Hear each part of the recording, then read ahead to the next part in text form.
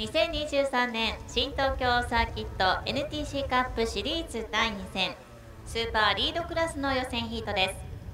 このレースはフラワーペイメント株式会社様アルファインフォメーション株式会社様株式会社エイコー様有限会社ベア様株式会社ビプロス様以上のご協賛により開催しております。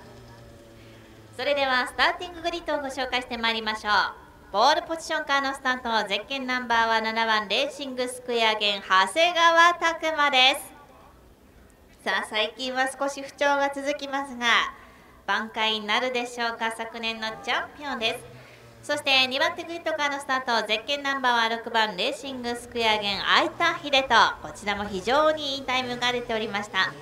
そして3番手からのスタートゼッケンナンバーは8番ガレージ海斗山平家久。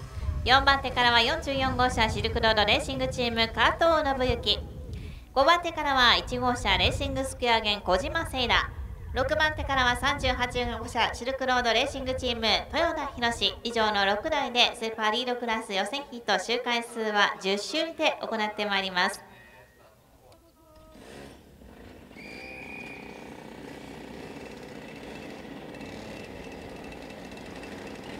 それではスタートしてまいりましょう。スーパーリードクラスの予選ヒート。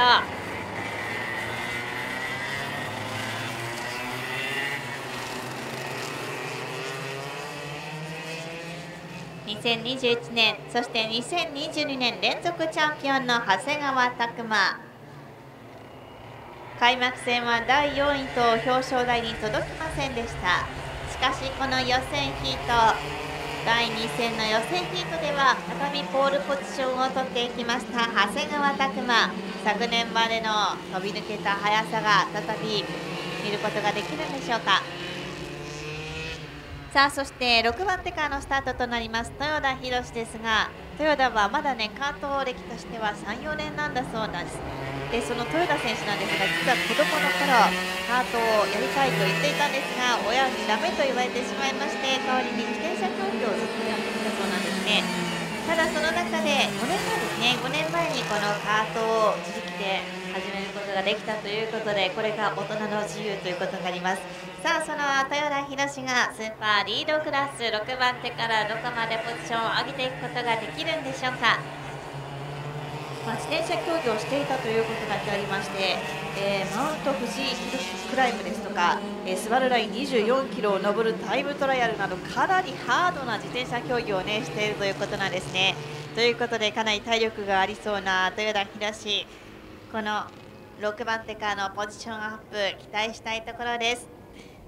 そんなスーパーリードクラスの予選ヒート隊列が今整ってまいりまして綺麗な隊列が揃いました。モナコからコリドーラインへと収まってまいります。スーパーリードクラスの予選ヒートフロントの長谷川と相手がスピードを上げてまいりましてレッドシグナルはブラックアウトレーススタート。さあ綺麗なスタートが決まってまいりました。1コーナーホールショットを取っていたのは長谷川拓磨そして2番手スタートの相坂ここでポジションを下げて3番手代わって上がってきたのはイン側の3番手スタートの山平英久8号車が2番手に上がってくる。さあそして加藤信之はスタートグリッド通り現在4番手を走っているでしょう。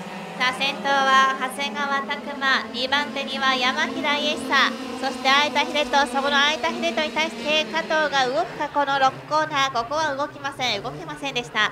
そして加藤の後ろは小島セイラトヨタという形でオーダーは大きく変わっておりません。さあスーパーリードクラスの予選ヒート。戻ってまいりましたオープニングラップ。さあここで小島セイラが動く5番手の小島セイラが加藤のビュー飛び込んだ1コーナーこれでクロスを取っていく加藤信之。あーっと2番手の2番手の山平がちょっとこれは接触があったか2コーナーで回ってしまった。単独か接触があったかちょっと見えませんでしたけれどもこれで2番手を走っておりました山平イエスが大きく下がる形となりました。さあ変わってこれ2番手を走っておりますのは相田秀人です。さあ山平これ単独のようですね。さあその山平イエスサはこれで最後尾に下がりました。スーパーリードクラスの予選ヒート先頭は長谷川拓磨2番手。これで相田秀人3番手が加藤4番手には小島聖羅です。さあこの小島セイラは本日トリプルエントリーということになっております。スーパーリードクラスの予選ヒートトリプルエントリーの小島セイラやはりこれだけね、えー、レース参戦回数が多いのでレースを追うたびにかなり実力をつけてきているなそんな感じを受けます小島セイラさあその小島セイラの特徴はやはりこのスピードレンジが速い中での強さを発揮するところではないでしょうか。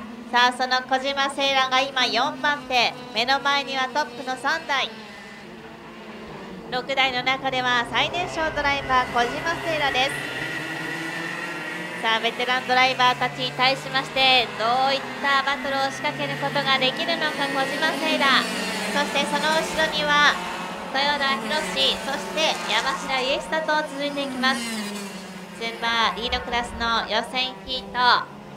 周回数は残り7ラップ。現在先頭変わらず長谷川拓磨2番手には愛花3番手は加藤そこに追いついてくる小島セイラさあ長谷川拓磨は逃げ切るだけの速さはちょっと今日はないか。6コーナー少し守り気味で入っていきました。そのすぐ後ろには相田秀人。さあその相田秀人の後ろには加藤信之がテールトゥーノーズ。どうでしょうか？この展開加藤がまずは動いていくか？それとも小島セイラが動かしていくんでしょうか？レースは残り6ラップ。先頭長谷川拓磨に対しまして相田秀人がそろそろ仕掛けていくか？さあこの相田秀人と長谷川拓磨おそらく練習も一緒にすること多いではないでしょうか？さあその相田秀人の前の長谷川拓磨がちょっとペースが上がってきたか？さあ長谷川拓磨は6コーナー空いた秀と前に入れない。ほんの少し30センチぐらいイン側走る微妙な絶妙なライン取り。これはなかなか飛び込みなごめんなさい。これ2番手入れ替わってますね。2番手が加藤信之加藤信之いつ入れ替わりましたか？さあ加藤信之が2番手。そして加藤信之が早々に1コーナー飛び込んで長谷川拓磨が少し遅れる。その合間を縫いまして、えー、相田が2コーナーイン側入りました。さあこれで大きく大台で変わっていきました。先頭が加藤信之。2番手がこれで相田秀人3番手が長谷川拓磨。4番手が小島聖羅です。さあ一気にオーダーが変わっていきました。スーパーリードクラスの予選ヒート。折り返し後半戦残り5ラップとなっております。さあトップが変わりまして加藤信之。2番手には相田秀人です。さあ長谷川拓磨再び。前に出ていくことができるか。しかしその長谷川拓磨のすぐ後ろ小島セイラが1コーナー飛び込んだ。さあ小島セイラが3番手に上がるか。いやそれをクロスでかわしていきます。長谷川拓磨。これあーちょっと接触があった2コーナー。長谷川拓磨と小島セイラが2人してコースに、えー、外れていきましたが2人ともなんとかコースには戻ってきております。さあこれで先頭の2台が離れてしまいました。現在3番手は長谷川拓磨。その後ろに小島セイラオーダーは結果として変わらずですさああとはトップの2台ここもまたバトルがありそうだ先頭加藤に対しまして相田秀人がもうテールトゥーノーズ6コーナーを守っていく加藤信之さあスーパーリードクラスこれで残り3ラップ残り3ラップです相田秀人が仕掛けることができるか2番手そして小島セイラ再び3番手の長谷川拓磨に仕掛けることができるでしょうか。